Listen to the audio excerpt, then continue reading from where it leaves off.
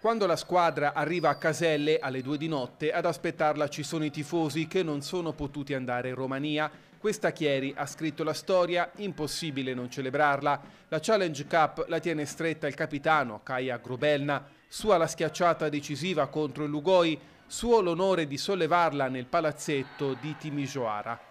Il giorno dopo Chieri ringrazia le ragazze di Mister Bregoli con uno striscione, i tifosi organizzati, i briganti rivivono l'impresa. C'è stato un momento in cui hai capito che la Coppa potevate vincerla davvero? Sì, sì, sì, già dall'inizio, dalle partite preliminari, già dai sedicesimi, già dagli ottavi, perché lo vedevamo negli occhi delle ragazze. Scegli una giocatrice?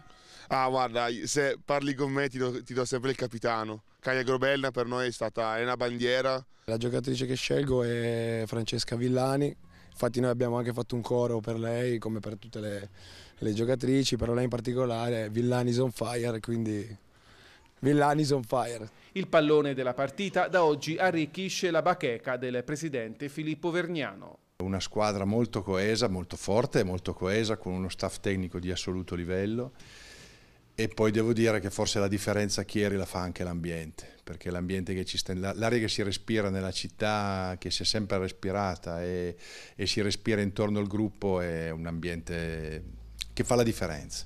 Adesso che ambizioni ha Chieri? Beh, adesso è difficile perché alzare ancora l'asticella credo che sia veramente dura